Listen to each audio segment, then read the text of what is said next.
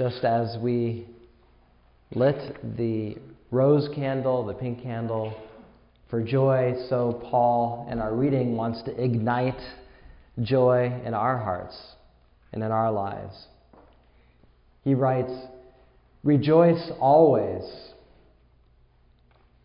Pray without ceasing. Give thanks in all circumstances. Rejoice always. That's actually a whole Bible verse. If you're looking for a Bible verse to memorize, this is a good one. it's actually the shortest Bible verse in Greek by two letters and one word. Of course, the English one that's the shortest is Jesus wept. A few letters, a few words, but a big ask and a big challenge, nevertheless. It's a small sentence, just two words, but also a big promise to us. And so I do invite you to maybe commit this to memory. It's only two words. And think about it through the Christmas season and even beyond as a challenge and as an encouragement to us as we walk with Christ. Rejoice is an imperative verb. Second person plural. You all, all of you, or all yous, rejoice, Paul says. It's what Christ commands us to do in the parables of the lost things the lost sheep, the lost coin, and then the lost prodigal. What does the one who found that which is lost say when they come back? Rejoice with me, or come into the party with the prodigal to celebrate the one who was once dead but is now alive. It's the one thing that we do now that we will continue to do until the Lord comes back and even into eternity. We will rejoice forever and ever. And so Paul says, rejoice always. Always is an adverb modifying the verb to rejoice. This is a heavenly call to joy, and it is also a form of prayer. Praise and adoration and thanksgiving are all forms of prayer, as we'll remember. The next verse tells us that we are to pray without ceasing, always. That we are to give thanks in all circumstances. It's another way of saying always. So, prayer is not just asking God for things, going through our list and making requests. Prayer is also inclining our hearts and our minds and filling our mouths with praise to God and gratitude. And this we can always do if prayer is also a posture, an attitude, and a, and a knowledge that we are in the Lord's hands. Of course, we live in a culture, don't we, that normalizes negativity and gives us a sense of entitlement. And I've talked about this before, but neuroscience speaks of human beings collectively, we are, not just Americans, but all human beings, we easily get stuck on the negative. That's the way our brains are wired. We have a negativity bias, scientists tell us. And that makes sense if living each day is just a matter of survival or getting what we want. That would fill anyone with anxiety and would rob anybody of joy. And so the tendency that we have is to red flag things and people as we live life. We go through life saying that that person is a threat, that thing is a danger, she is no good, he is up to no good, he's a problem. And it only takes one negative thought, one negative word that we hear to stick to our brains like Velcro. It's why we should thoughtfully engage with the news and social media that is filled with toxicity and negativity. It generates anxiety, and when it generates anger, we should not let it stop the flow of joy that God wants us to have in our lives. I remember my dad being welled up with anxiety after watching cable news. And he said, I don't know what to do. And my mom said, Turn it off. Just turn it off. It's time to do something else. On the other hand, when someone speaks to us a kind word, or does something thoughtful or encouraging, or says something thoughtful, sadly, that positivity has a tendency to slip through our brains like Teflon, like water off the back of a duck. And they tell us, these scientists and researchers, that in order for positivity to make a positive impact, we must savor those things in our minds for at least 30 seconds. It may not sound like a long time, but the next time somebody stops their car so that you can go before them, does something rare and kind, Take 30 seconds to just give thanks and be grateful for the kindness of others. Make that a practice so that we would all rejoice always. And so we need to hold fast to every blessing that we acknowledge and that we see and experience. That we should always cherish the goodness of God. He's good all the time. All the time, He is good.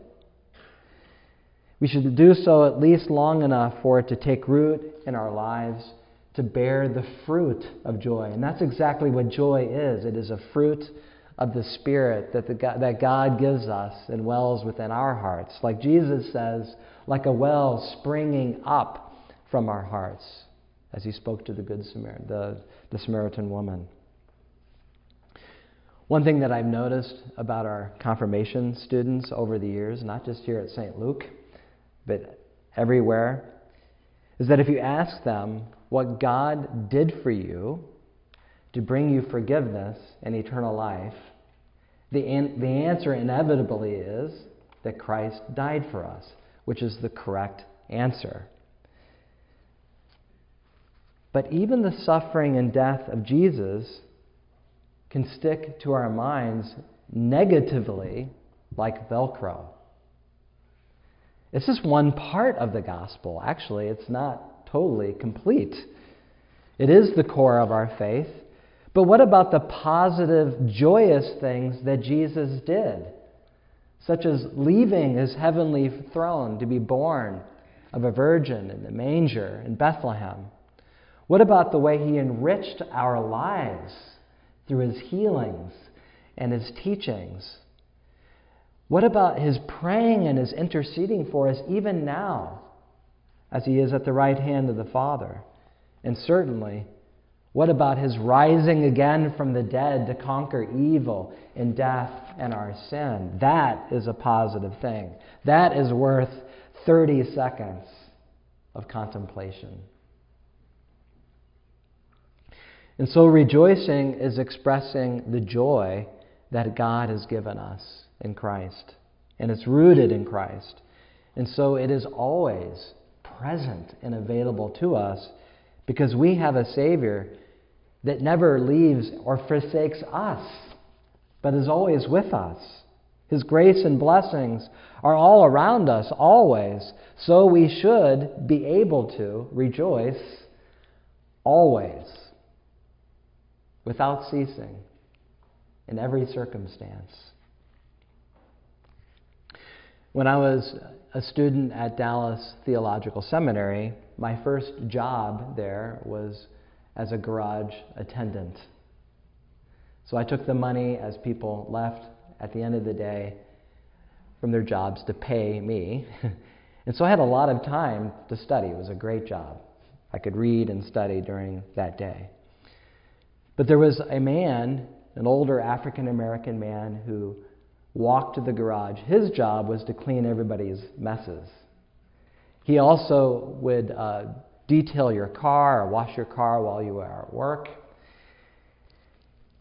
And he would always, as he walked around, as he cleaned the car, he was always singing spiritual songs, hymns, and psalms to his God.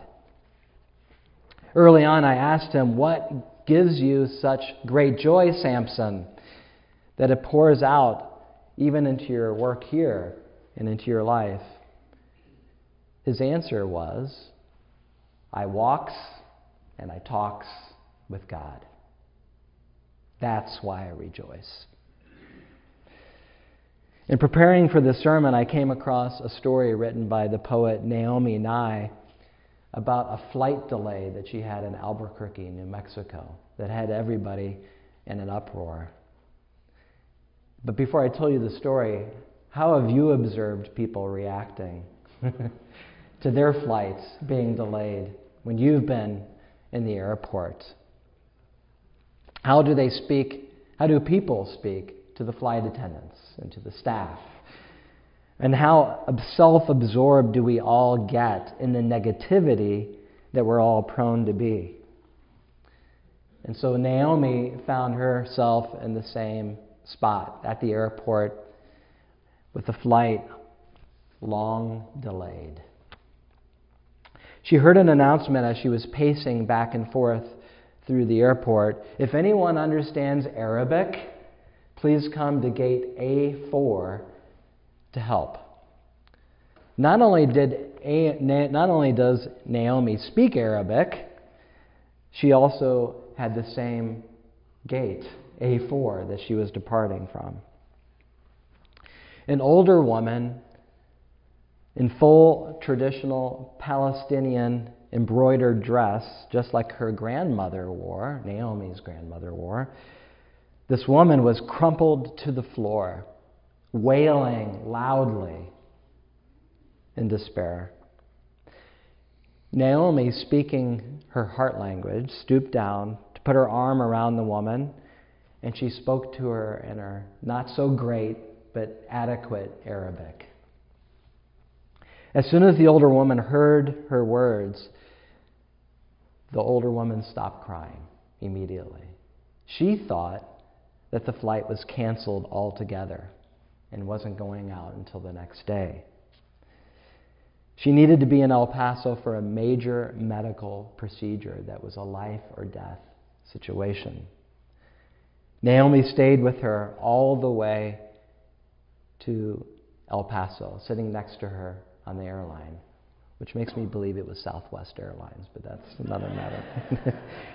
As they waited for their flight, the older woman started handing out handmade, homemade powdered sugar cookies to everyone to the flight attendants, to the staff, to all the passengers, all the children, all the older people, so that everybody was covered in powdered sugar.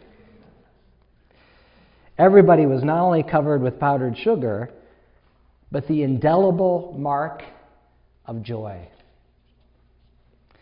The airline decided to give everyone juice, and they were no longer these disgruntled and stressed out strangers now waiting for their long delayed flight. They were now joyful pilgrims sharing the Eucharist of powdered sugar cookies and juice. And so we are invited to the table during Advent to await our Lord's return as joyful pilgrims. And so we pray, Amen. Come, Lord Jesus, in the name of the Father, and of the Son, and of the Holy Spirit. Amen.